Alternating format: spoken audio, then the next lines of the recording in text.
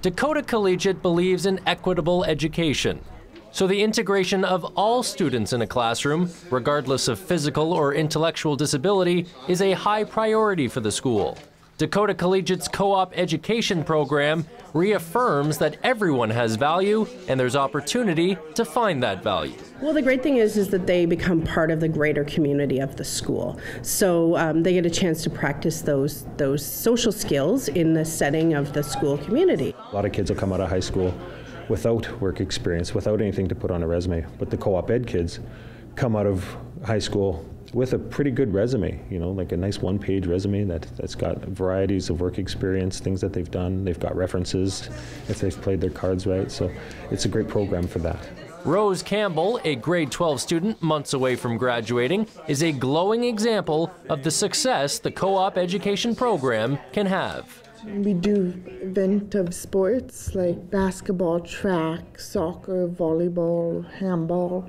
That's towards the Louis Riel School Division. We go to, we have all a whole bunch of co-eds that come together and participate in them, and sometimes cheer too. That's 50 bucks a week to spend, right? I got hired at co-op by the St. Vital Mall in the summer because I had a work experience there for the summer, and then they hired me on the, my birthday.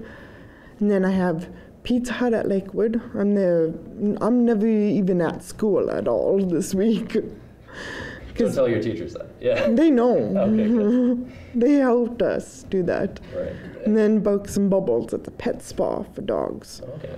So you're very busy all the time. Yeah. You like being active that way? Yes. She's one of our great success stories. She's she's come a long way in terms of finishing all her academic credits, and, and now once we do that, we have a lot of kids who stay on to the 21 just because of the access to adult services, they kind of need to stay in the program.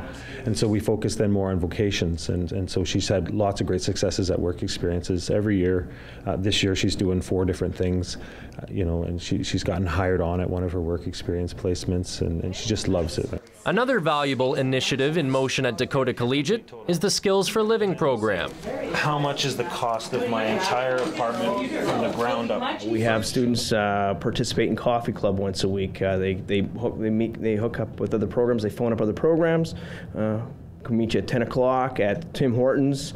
Uh, they uh, and they go and they spend their money and they go meet up with other people there. They learn social skills, uh, just stuff that we we've learned decades ago. These guys are just learning that now.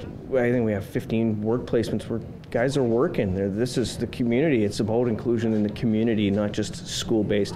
When all kids have the opportunity to feel like they belong, the results are always phenomenal. For Go Winnipeg, I'm Mike Valente.